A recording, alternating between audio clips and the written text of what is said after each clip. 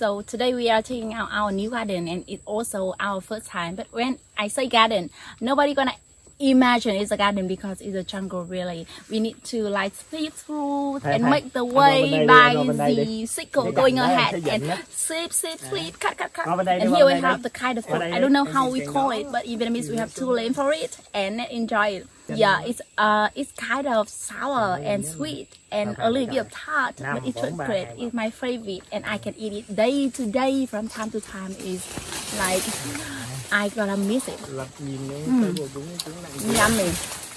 Em sáu mươi mấy. And you guys can see the trees right here. It's kind of tall, and only the monkey, the the monkey people here gonna climb up a bit.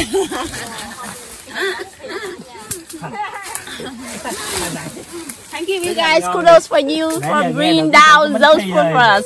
So, if you guys see this one when you visit the garden, so remember to stop, pick it up, and eat it. Sure. From sauce. Xong nó tốt đó.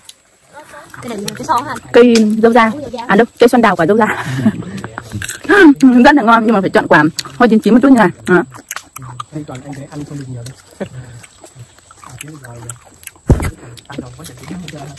Là người bạn đồng hành mũi mũi muốn xuất hiện trước ống kính như sao rồi cứ